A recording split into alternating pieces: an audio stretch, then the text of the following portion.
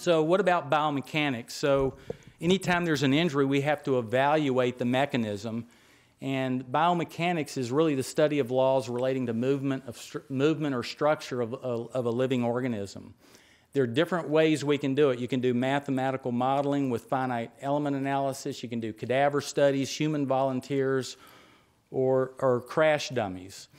So if you look at the spine, the, the thoracic spine from T1 to T8 really is a very stiff, rigid structure, and, and it usually just fails in flexion. Um, the, the mobile um, lumbar spine, where it connects to the rigid thoracic spine, there's a transition zone at that, at that junction between T9 and L2 where you transition from stiff to mobile and most injuries actually occur at that zone because of that transition. Whereas in the lumbar spine, where there's more mobility and a lordosis here, most injuries are due to an axial load. So we can do biomechanical testing of cadaver specimens. We put them in these fancy uh, testing machines and devices to measure load and displacement.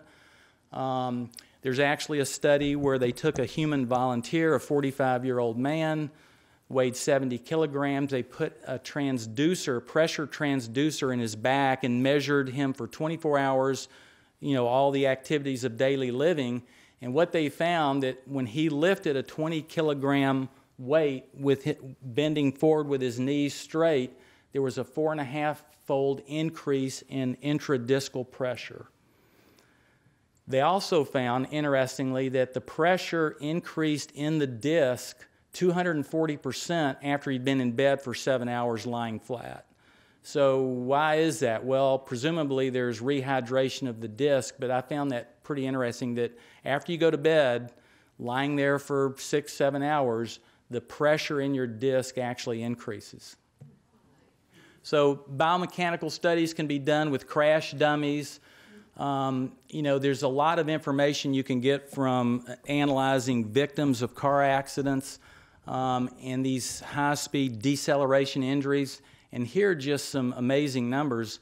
A vertebral compress body compression fracture, 20, 30 Gs, fracture dislocation, 20 to 40, aortic transection, 80 to 100, pelvic fractures, 100 to 200 Gs, body fragmentation. So your body will fragment at 350 Gs.